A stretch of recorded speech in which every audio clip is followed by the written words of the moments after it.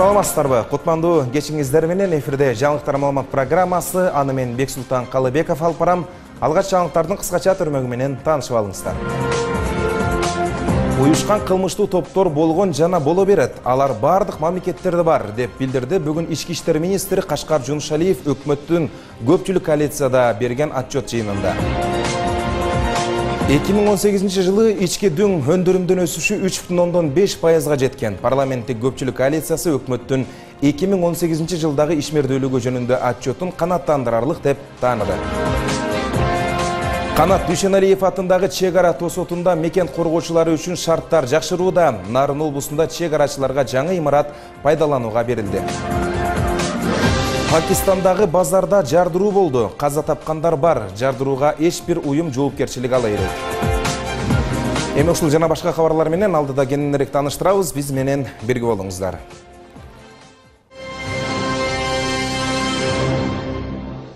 Өкмөттүн милдети кумтөр кенинен көз карандысыз экономиканы куруу деп билдирди премьер-министр Мухаммедкалый Абылгазиев. Жогорку кеңештин парламенттик көпчүлүк коалициясынын жыйынында өкмөттүн 2018 жылкы ишмердүүлүгү жөнүндө отчету каралып жаткан учурда.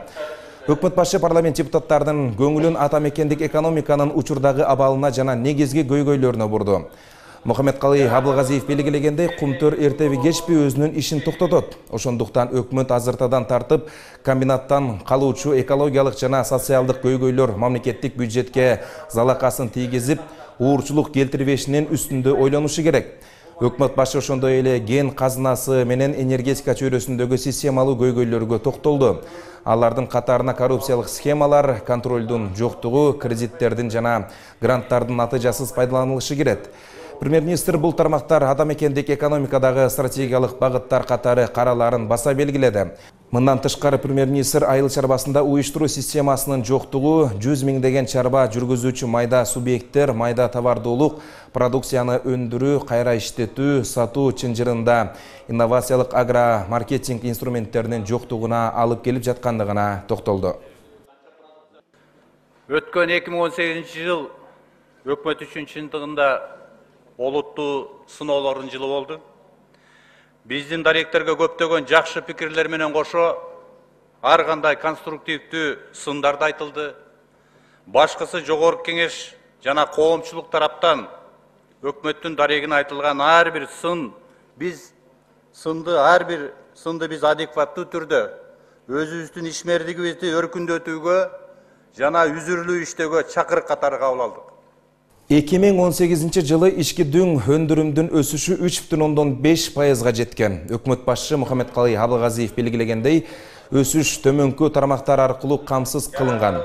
Курулушта жети бүтүн ондон сегиз пайыз өнөр жайында беш бүтүн ондон беш пайыз. Айыл чарбасында эки бүтүн ондон жети пайыз кызмат көрсөтүү чөйрөсүндө эки бүтүн ондон бир пайыз өсүш катталган.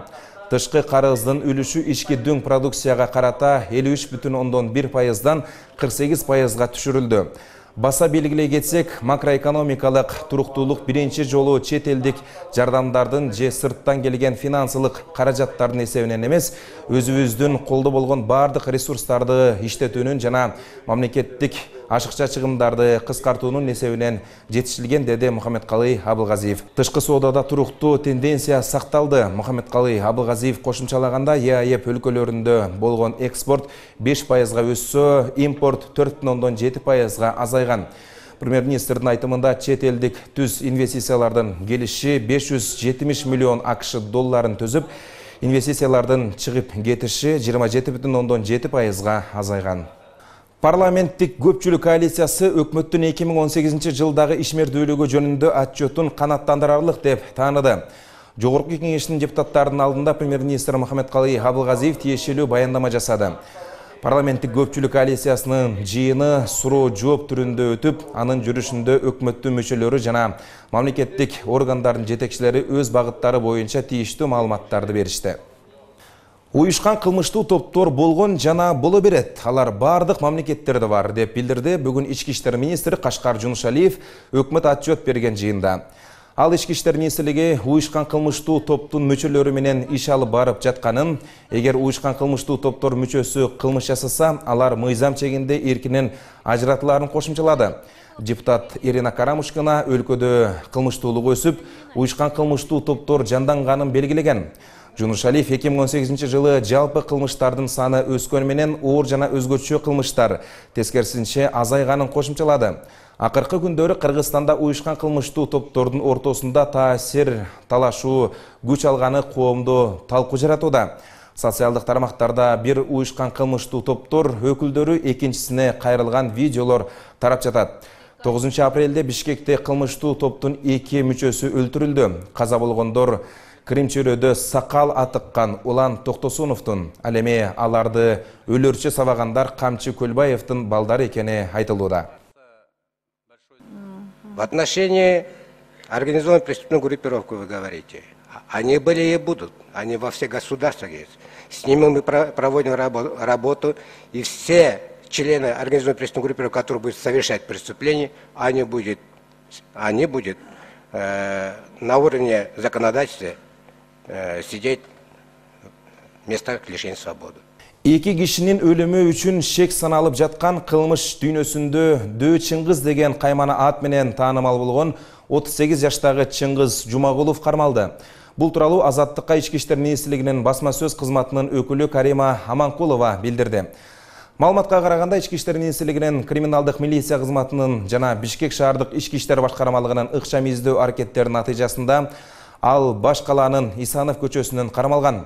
Ал сұрақ берген соң уақытылуу кармоочу жайға киргизилгени айтылды.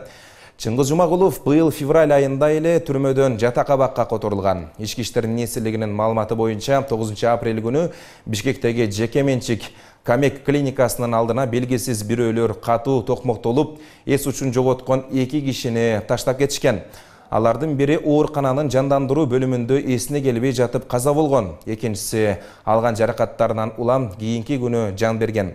Кылмышка шектүү катары эки киши кармалып үчүнчүсү жумагуловго издөө жарыяланган болчу.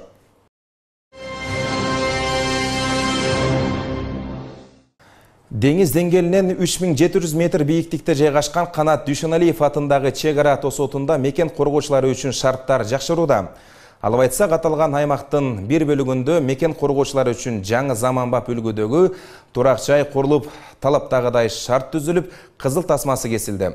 Ага Кыргыз Республикасынын чек ара кызматынын төрагасынын биринчи орун басары Абдыкерим Алымбаев катышып, мекен чегиндеги аскерлерге көрүлүп жаткан камкордук дагы уланарын билдирди.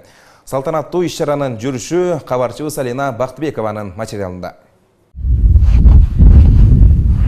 Кыргыз орус өкмөтүнүн кызматташтыгынын алкагында кыргызстандагы тышкы чек араларды инженердик жана техникалык жактан бекемдөө максатында жалпы наркы он бир миллион жети жүз миң сомго орус өкмөтүнүн каржылоосу менен кыргыз кытай чек арасындагы чатыр көл бөлүмүнүн имараты жаңыртылып жоокерлер үчүн мыкты шарттар түзүлүп жаңы чек ара посту ачылды. Ага кыргыз республикасынын чек ара кызматынын төрагасынын биринчи орун басары абдыкерим алимбаев жана орусия федерациясынан келген коноктор катышып салтанаттуу түрдө кызыл тасмасы кесилди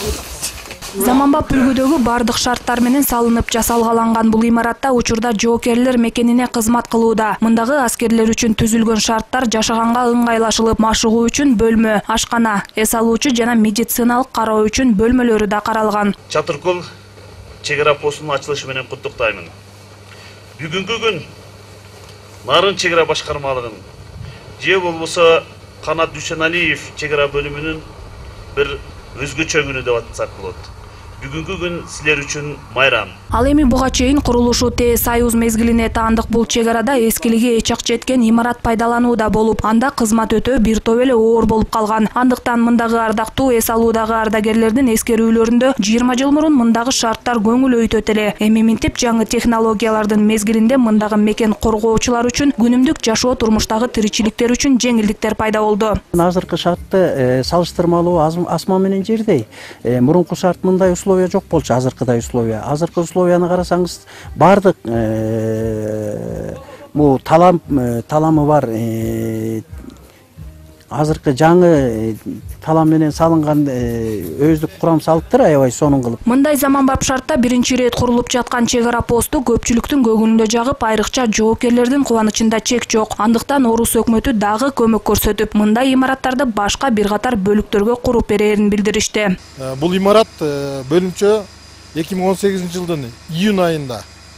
Эки миң он сегизинчи жылдын март айында башталып ушул эле жылдын эки миң он сегизинчи жылдын август айында эксплуатацияга берилди эми бул аймакта бул жерде биз чек ара кызмат бөлүмүнүн тиешелүү аскер кызматкерлери кызмат өтөйт бул бизге өтө ыңгайлуу шарт түзүлдү себеби биринчиден алсак бул биринчиден чек арага жакын күч каражаттарына көп колдонуусуна дагы азайтуу да болуп эсептелет мекен чегинде туруп оор климаттык шартта иш алып барган чек арачылар үчүн көрүлгөн камкордук аскерлердин ыраазычылыгына татыды ата энеси жок балдарга жана жесирлерге жардам бергендер кудайдын ыраазычылыгын алат. Дал ушундай аруу тилек менен ас сафа кайрымдуулук фонду чүй облусунун москва районунун садовой айылында социалдык шаарча курду. Курулган турак жайлар алтымыш жети аз камсыз болгон жана көп балалуу жесир жарандарга берилди. Андан тышкары шаарчада мечит фаб магазин жана тигүү цех курулган жамиля хашимова жыйырма жети жашта үч кыздын апасы төрт жыл мурун жолдошу таштап кетип садовой айылында кыздары менен батирден батирге көчүп жашап келген эки миң он сегизинчи жыл жаңыраары менен айыл өкмөткө жашоо шартынын оордугуна байланыштуу арызын берип жыйынтыгында эл аралык ас сафа кайрымдуулук фонду тарабынан минтип эки бөлмөлүү баардык шарты бар үйгө ээ болуп отурат рахмат аллах ыраазы болсун ары бир ушул берип жаткан алланын жакшы көргөн мусулман бенделери сиздерге аллах ыраазы болсун бизге ушундай муктаж болуп жаткан үй бүлөлөргө ушунчалык эмени берип сүйүнткөнүңүзгө алла таалам сиздерге акыретте фирдавс айла пейишими сүйүнчүлүккөн болсун баардык ким садакасын ушинтип аябай чыгарып жаткан болсо аллахым баарысына аллах ыраазы болсун. Ал эми үйгө ээ болгон баардык жашоочулардын кубанычында чек жок. Маселен айкөкүл акматова көзүнө жаш алып жеке менчик үйгө ээ болгонуна ишене албай жүрөт. Ошондой эле анын жакындары да кайрымдуулук фондко ыраазы кудайга шүгүр ушинтип канча жылдан бери ушу менин кызым айкөкүл канча жылдан бери кыйналып жүргөн үй ала албады иши оң келбеди жүрдү жети жыл бирге жашаган атасы да кетип калган. Ошон үчүн мен ушуну биттейинен кичинесинен кыздарымды бактым өстүрдүм. Үч кыз неберем бар. Кубанбай анан кубанып атам алдыңа кетейин кубанбай анан балам ушул балда үч кыздын ыраатын көрүп жакшы болуп күйөөсү таштап кетип калып кыйналып кыз салып атып бактты ушуларды эми омурларын берип кыздар ушул жерден агарып көгөрүп чоң чоң сүлкүлдөгөн кыздар бар. Айкөкүл ушул кыздардын ыраатын көрсүн айланайын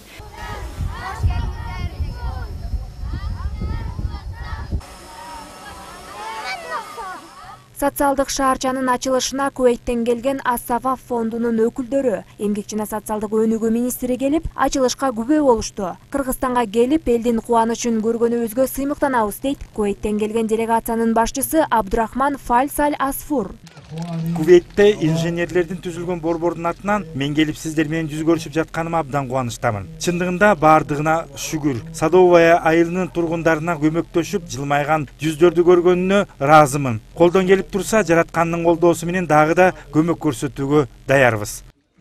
Ал эми эмгек жана социалдык өнүгүү министри улукбек кочкоров аталган кайрымдуулук фонду менен үч жылдан бери кызматташып келишээрин жана министрликке кол кабыш кылып аз камсыз үй бүлөлөргө көмөгүн аябай көрсөтүшөөрүн белгилөө менен ыраазычылыгын айтты.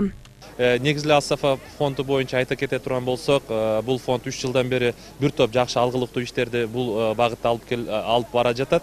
Маселен эки чоң үй бүлөлүк дарыгерлердин мекемесин куруп берди андан сырткары он төрттөн ашык фабтарды курду биздин социалдык мекемелерге атайын жатаканаларды ушул мүмкүнчүлүгү чектелген балдарга атайын жатаканаларды куруп жана ошого окшогон бир топ иштерди алып келе жатат десем болот. Бул үчүн биз албетте өзүбүздүн министрликтин атынан ушул фондко жалпы эле кувейт мамлекетине ыраазычылык билдиребиз.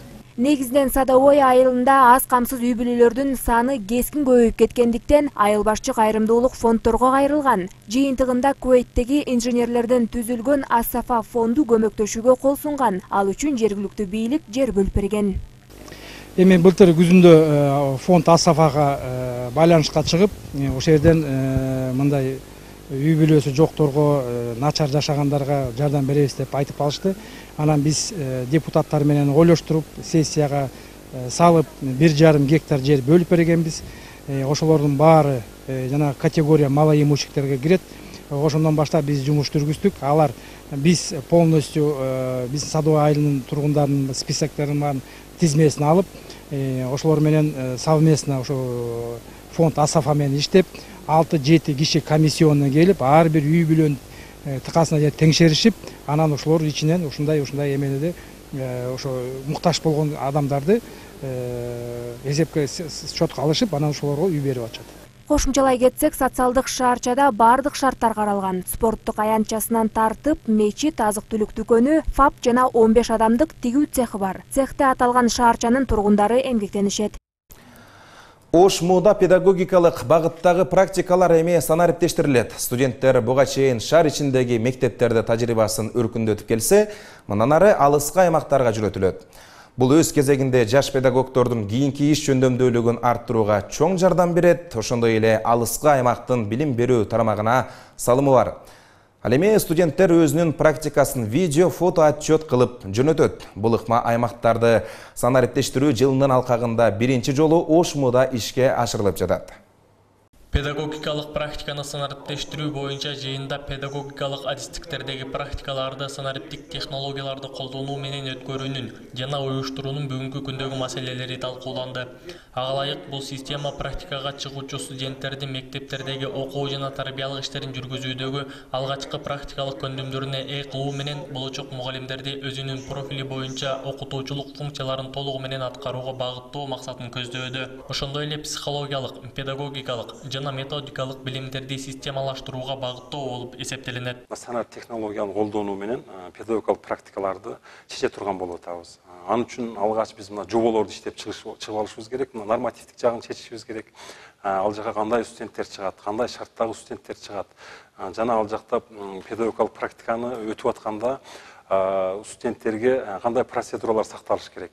Аны кантип ошол практикада өтүп жүргөнүн кантип далилдеп бериш керек студент. Быйылкы жылы бир эле мезгилде шаардын өзүнө практикага бир миң беш жүз отуз төрт билим алуучу чыккан алардын арасынан жүз отуз эки студент наваи мектебинде болгон адылбек батыралиев шаардын мектептериндеги практиканттардын көптүгүнөн алардын толук кандуу тажрыйба алуусуна окуучулар жана мугалимдер менен иштешүүгө мүмкүнчүлүк жоктугунан аталган системаны иштеп чыгуу зарылдыгы пайда болгондугун билдирет эгерде биз санариптикке өтсөк студенттерибизди айыл жерлерине жиберип айылдагы мыкты мыкты мектептерге жиберебиз дагы ошол жердеги баягы тажрыйбалар чыгармачыл иштеген мугалимдер менен иштешип аябай бир жакшы бир бийик деңгээлде өтөрө турганга дагы берип атат. Санариптештирүүдө практиканы аралыктан башкаруу менен алыскы аймактагы билим берүү процессин көзөмөлдөөгө болот. Мындан улам студенттер буйрукта көрсөтүлгөн мектепте практикага чыгып ал жердеги өзүнүн иш аракетин фото жана видео отчетко чагылдырып электрондук вариантта практика жетекчисине тапшырып туруусу каралууда негизинен бул жерден жоо кабыл алдык ошо практикаларды санариптик технологияларды өткөндө кандай өзгөрүүлөр бар? Ошол өзгөрүүлөрдү негизинен бир добуштан колдоп кабыл алынды десем болот. Бир аз талкуулардан кийин сунуштар айтылды видеолорду киргизсе болот экен. Видео киргизгенден кийин бул абдан сонун бир механизм болуп эсептелинет. Бул механизм менен биз чындыгында бүт кыргызстандагы баягы алыскы региондордогу биздин аябай баягы кесипке муктаж болгон же болбосо кесипкөй адистерге муктаж болгон биздин мектептерди биз камсыздай алат экенбиз да. Аталган система аймактарды өнүктүрүү жана санариптештирүү жылынын алкагында жүргүзүлүүдө. Баса белгилей кетсек бул программа жогорку окуу жайлар арасынан ош муда алгачкы жолу ишке ашырылууда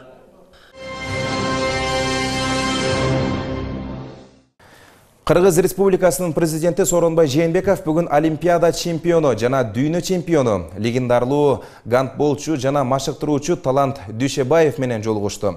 мамлекет башчысы талант дүйшебаевдин жетишкендиктери кыргыз эли үчүн чоң сыймык экендигин билдирди президент дүйшебаевдин машыктыруучулук жогорку дараметинин натыйжасында дүйнөлүк европалык аренада жетишкен ийгиликтерин кубаттады ал жетектеген командалардын ийгиликтери багындырганга өбүлгө түзүп жүздөгөн спортчулардын жүрөгүндө башкы устаты насаатчысы катары түнөк тапканын билдирди.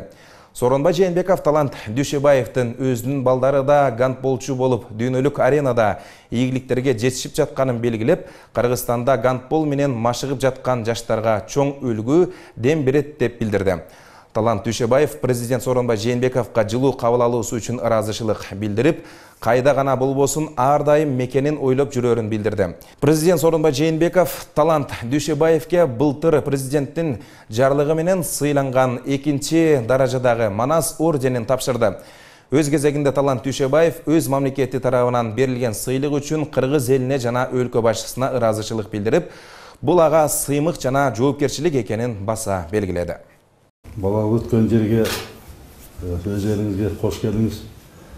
Біз абдан сүйініп тұрамыз. Үшін дегенде сіз біздің қырғызстанның атын қырғыздардың атын дүниеге танытып абдан биіктерді бағындырып біздің қырғыздан шыққан ең деген инсан мына болдыңыз. Айрықша сіздің басқан жолыңыз біздің көз алдымызда өтті.